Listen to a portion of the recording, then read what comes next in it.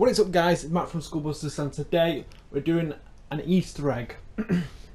I don't know what the Easter egg called but it's been titled as Neeb's Easter egg. So basically Neeb, you've seen him around the uh, community as in, I think he's a developer and his Easter eggs have been out and about here and there. And uh, this is his latest one that came out, all been solved. So uh, what you need to do, you need to get a dog tag and uh, you need to go to the speak man. You need to go to the community and equip War Tuba. Then what you need to do is go on a server, Cape Helles, Achi Baba, Sea Bruges, and all the ones with the infiltrate kit. But I'm gonna go on to Cape Helles and show you. So I'll see you there. Right guys, we're on Cape Helles. I'm about to get the uh, infiltrate kit. Let's go outside.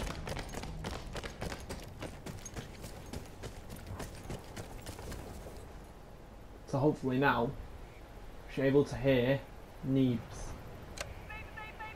Yep, there we go. Done it. That's all you need to do. So I'll let you listen to it.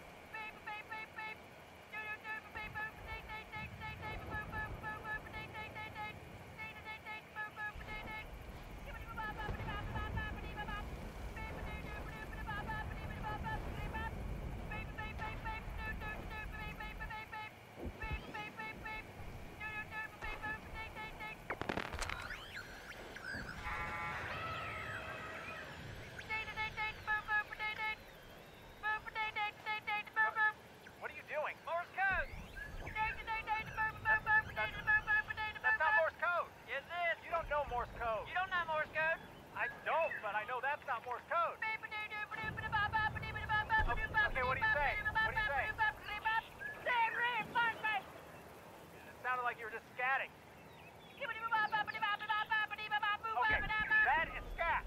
That's not Morse code. Nope, that was we took Edward. What, you just, you said we took Edward? Yeah. No, that sounded like jazz. Hey, I heard we just took Edward. Good job.